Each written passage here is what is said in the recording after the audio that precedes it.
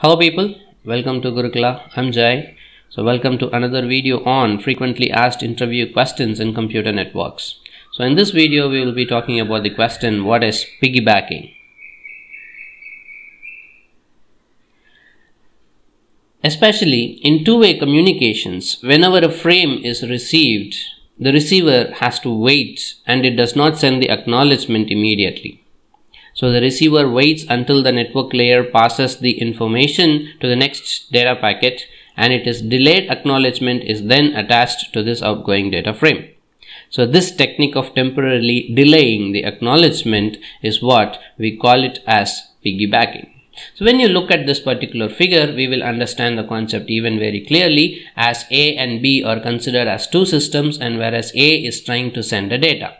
So B is also having some data to transfer. So what will happen is instead of sending acknowledgement separately and data separately, B has to delay its transmission for fewer seconds and then the acknowledgement for the data which is sent from system A will be piggybacked with the data what B has to send.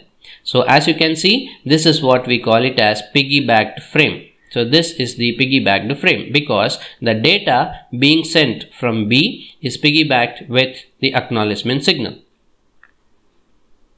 And then this process will save us a lots of bandwidth on the internet. And then following that A will be sending the particular data. And this time let us assume that B does not have any data to send in this particular case, my B will not wait for the process of piggybacking. It will simply send the acknowledgement because B doesn't have any data to send.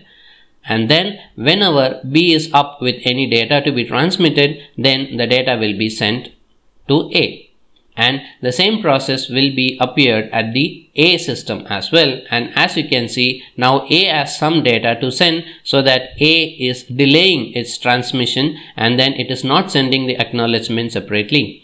So as you could see A has piggybacked the acknowledgement along with its data and then sent. So this is again we call it as a piggybacked frame. Sending an acknowledgement frame along with the data is what we call it as piggybacking.